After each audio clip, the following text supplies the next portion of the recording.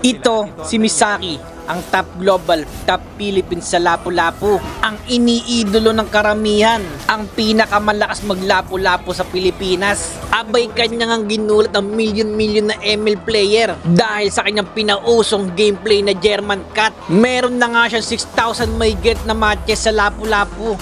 Ako nga si Captain Nels, hinahamon siya sa isang duelo. Meron na nga ako 3,000 may get na matches sa Lapu-Lapu. Kalahati lang ng sa kanya, pero ako'y lalaban. Kaya naman itag nyo na si Idol Misaki sa comment section. Inyo ang panoorin ng freestyle na ginawa niya. Abay talaga naman napakalupit. At dahil nga lapu-lapu main din ako, matik kaya ko yan.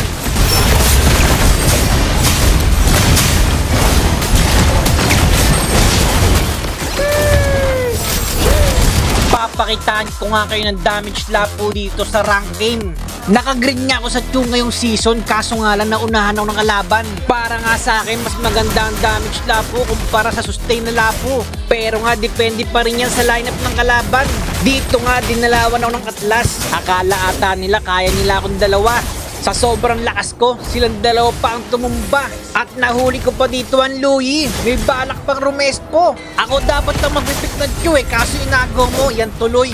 Tingnan nyo naman, sobrang sakit ng damage lapo. Lalo nga sa early game hanggang mid game, sobrang palo. At para nga medyo tumagal sa team fight, gamitin nyo ng tama yung passive ni Lapu-Lapu. Hanggat maaari nga, huwag kang magsasayang.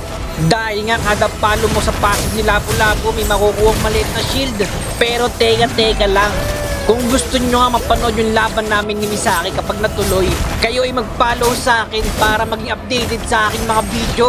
Dahil nga i-upload ko manalo o matalo man. At para nga sa mga bago dyan, Captain Nels nga pala ang nag-iisang kapitan ng Barangay Land of Don. Top global sa sariling mundo na laging nagsasabi, kwento ko to, kaya dapat ako ang bida.